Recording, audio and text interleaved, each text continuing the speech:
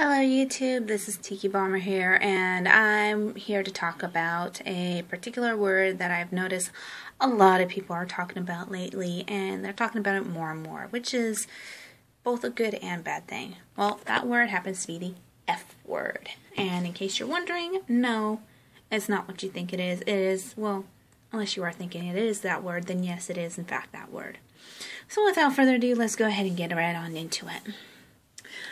I pulled up a Wikipedia page about the third wave feminism, and I love how it's worded. So I'm going to go ahead and read this off to you, and I will put the link in the description below. In the early 1990s in the USA, third wave feminism began to, as a response to perceived failures of the second wave and to the backlash against initi- initiatives and movements created by the second wave. Third wave feminism distinguished itself from the second wave around issues of sexuality, changing female heterosexuality, or challenging female heterosexuality, celebrating sexuality as a means of female empowerment. I don't know how exactly that is. Um, okay.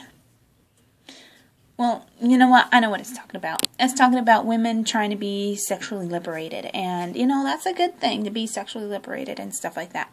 However, men are still being sexually oppressed, especially by women.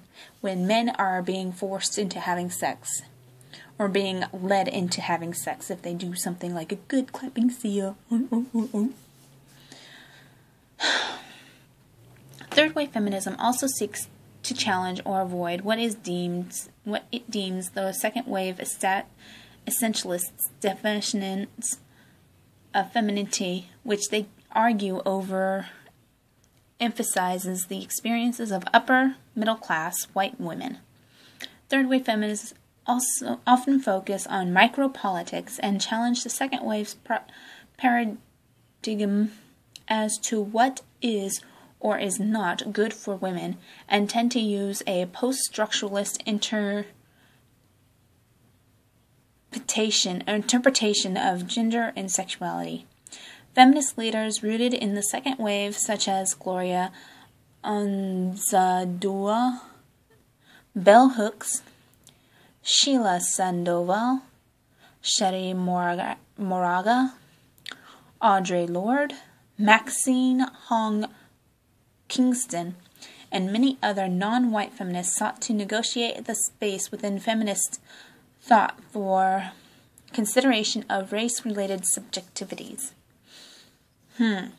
Would these race related subjectivities also include men, or is it just all women issues? Because from what I've seen in feminists, especially third wave feminists, there's not a whole lot of race related subjectivities, just rather women of color related subjectivities, such as how a Muslim woman cannot go to school for an education without getting acid thrown in her face, something that feminists should be fighting for and are not doing a very good job about.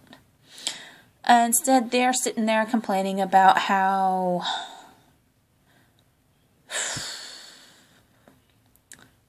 Oh gosh, there's so many of them flashing through my mind right now. They're sitting there complaining about how um, they're being offended by their fellow feminists over certain words and that they're triggering and that they need their safe space. Well, I'm saying fuck you, safe space. hate safe spaces. If I had a chance, I'd actually burn all burn down all the safe spaces. However, I wouldn't do that because a lot of the safe spaces happens to be attached to college campuses.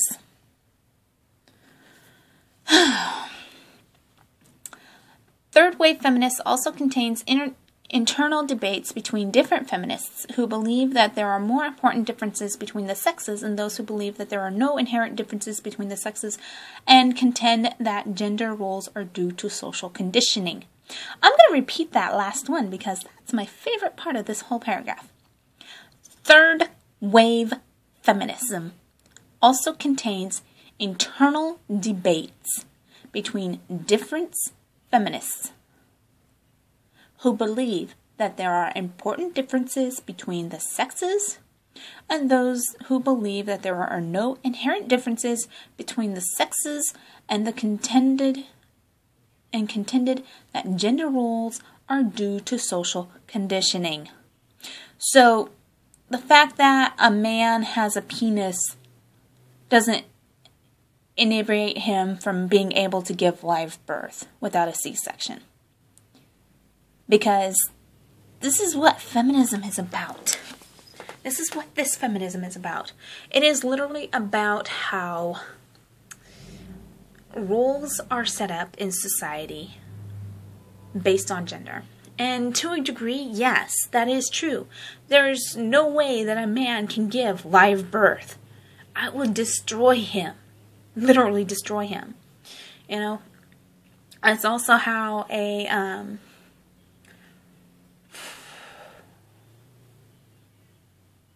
let's see, men can actually lactate. Um I'm trying to think of what a woman can cannot do that a man can do. And apparently I can't think of anything. Huh. So, yeah, men are actually impressed because they can't give live birth. No, I'm actually pretty serious about this because there are a lot of men who do want to have a pregnant, you know, they want to have a baby.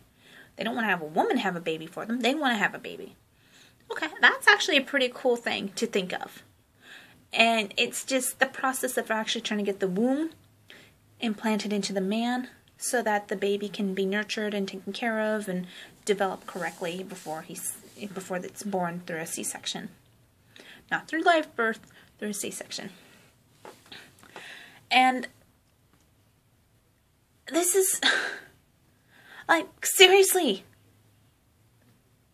there is a difference between the sexes. There's a huge difference between the sexes.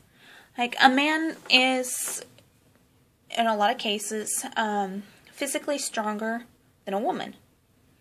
In a lot of cases, a man is faster than a woman. In a lot of cases, a man is more athletic than a woman.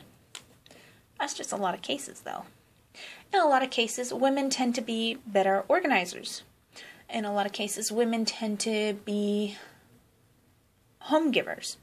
You know, they take care of the kids, they clean up the house, cook, you know, put, uh, they don't put food on the table, but they sure do um, make sure that it gets into the kitchen at least from the grocery store.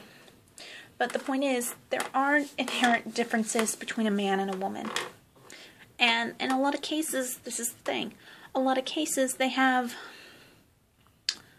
women who are better leaders. In a lot of cases, men tend to be better leaders. In a lot of cases, men just tend to be better at things, period, based on biology. And because of men are physically stronger and they are more capable of being athletic, they are also seen as being exposable, being just rubbish.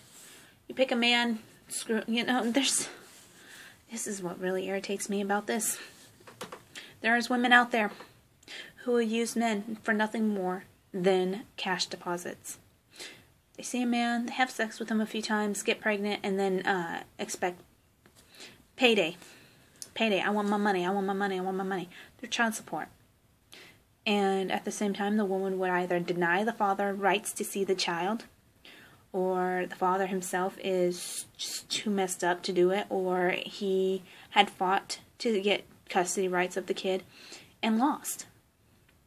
And that's because of how feminists have portrayed men. And feminists continue to portray men in these negative lights. And then they're sitting there saying there's no sexual differences between men and women, that there's nothing different between the genders, and it's all based on social norms. No, there's a lot of things different between men and women. Men are 70% more likely to kill to attempt suicide than a woman is.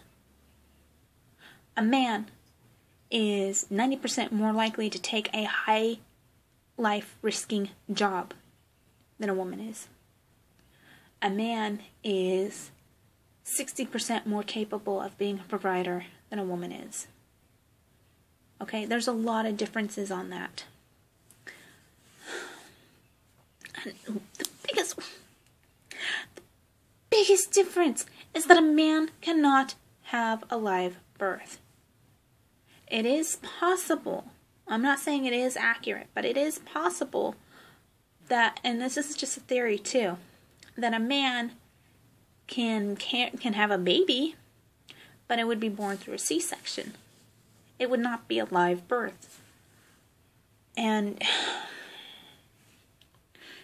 uh, feminists, this is what it's about. Feminism, the F word. It's about telling people, it's about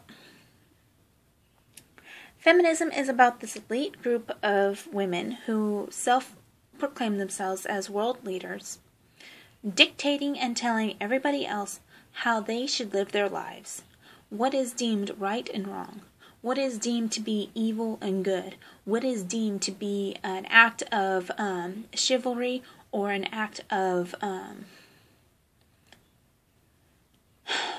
what's the word? What's the whatever the uh, whatever the opposite of chivalry is. Feminists is an elite group of women. I'm going to quote elite group of women who are determined to make sure that men do not receive any equality whatsoever. Feminists are about denying men their rights and if you're a feminist and you actually support Christina Hoff Sommers, then you know this isn't about you. It's good on you. Please keep up the good work. If you're a feminist and you think Christina Hoff Sommers' speech or anything that I'm saying right now is triggering, get the fuck off my channel. I don't want to deal with your shit.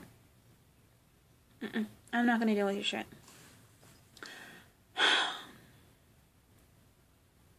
So, yeah, people, the real definition of feminism is that it's about female dominance over the world.